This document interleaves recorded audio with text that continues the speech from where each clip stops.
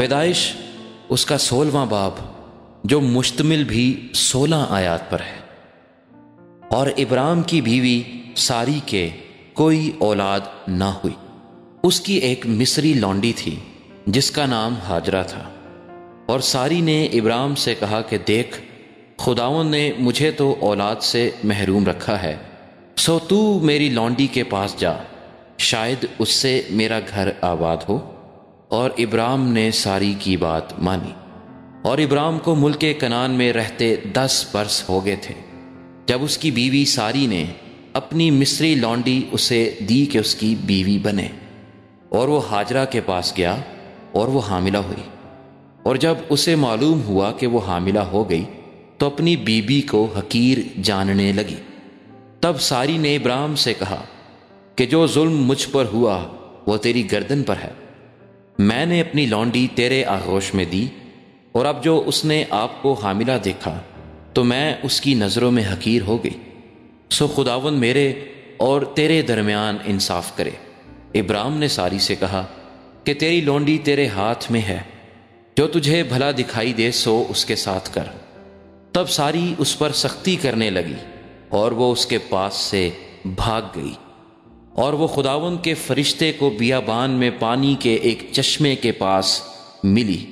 ये वही चश्मा है जो शोर की राह पर है।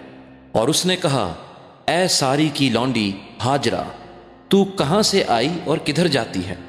उसने कहा कि मैं अपनी बीबी सारी के पास से भाग आई हूँ।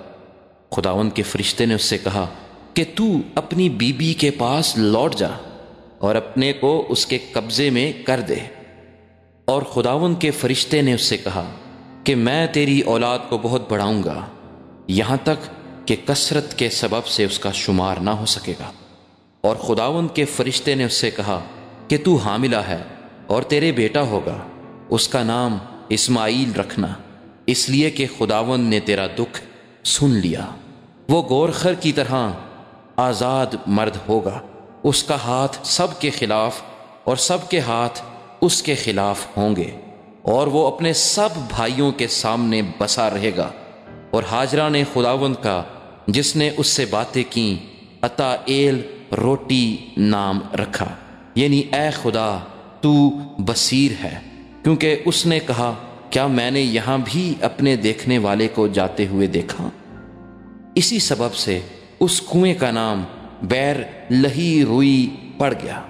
वो कादिस और बिरद के दरमियान है और इब्राम से हाजरा के एक बेटा हुआ और इब्राम ने अपने उस बेटे का नाम जो हाजरा से पैदा हुआ, इस्माइल, रखा। और जब इब्राम से हाजरा के इस्माइल पैदा हुआ, तब इब्राम छियासी बरस का था।